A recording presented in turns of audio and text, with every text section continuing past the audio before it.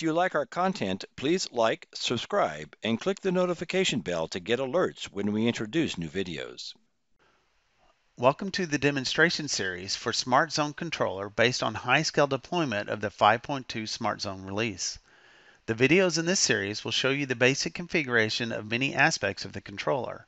In this video, I will provide a demonstration on configuring zones and their purpose within Smart Zone. So let's get started. I have already logged into the Smart Zone instance using a super admin account. We can observe that it's a high scale instance and it is 5.2 Smart Zone release. Under the grouping in the middle, we see there are a few partner domains and subdomains already configured. So let's talk about the purpose of an AP zone. An AP zone functions in a way of grouping a ruckus APs and applying a particular set of configurations to that group. Multiple zones can be configured under any domain, providing different sets of configuration preferences based on the environment these APs will be placed. Since partner domains and subdomains are already configured on this Smart Zone instance, we can now create zones within these domains. Zones are managed under the Access Points tab and are associated with a domain. Regardless if it is a system domain, partner domain, or a subdomain, zones can be configured under them, allowing you to place APs within them with similar duties.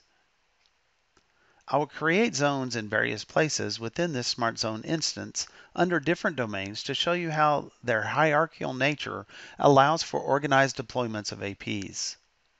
Similar with domains, we select the domain we would like to create the zone and press the plus in the upper left-hand corner.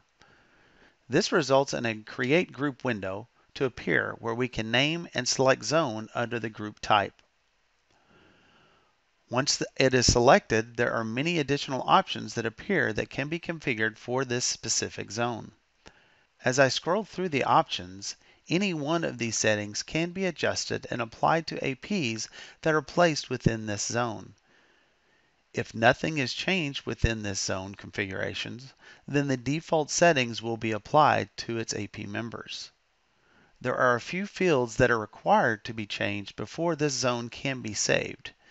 These are the name of the group, the AP firmware, which happens to be set at the default AP firmware of the system, but can be changed if other AP firmware versions have been uploaded to this controller. You will see them as options here as well if they are. The last mandatory setting is the AP admin login credentials. This requirement ensures that any AP members will not have their CLI access remain in the default credentials, but is changed to the preference within the zone.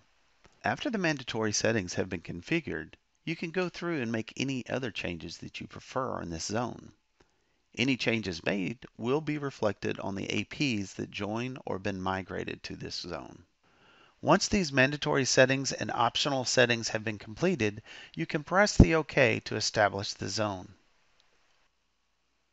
I just showed a zone being configured in a subdomain, but it is no different when configuring in a system or partner domain as well.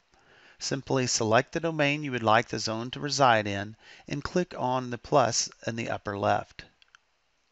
If at any time you would like to adjust these zone settings, you can select the zone and make your changes by clicking on the pencil icon.